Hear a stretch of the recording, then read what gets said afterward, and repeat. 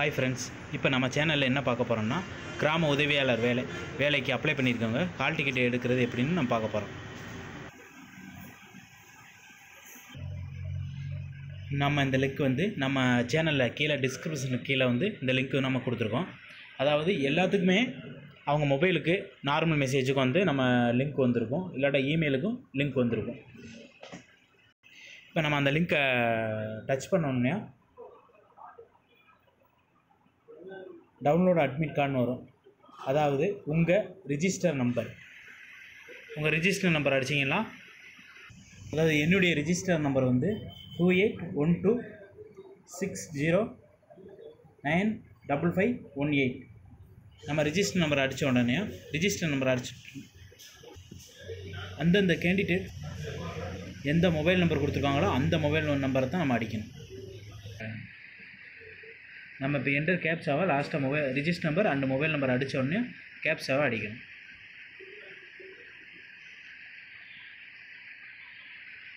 Seven F M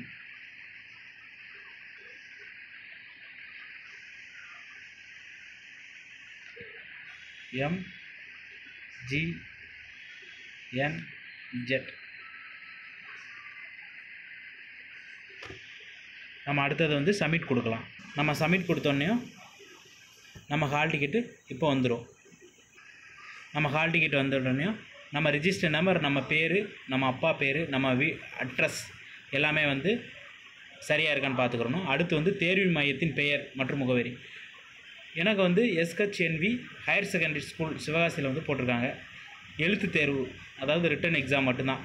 நாலாம் தேதி பன்னெண்டாவது மாதம் ரெண்டாயிரத்தி இருபத்தி ரெண்டு. காலை பத்து மணி முதல் பதினோரு மணி வரை.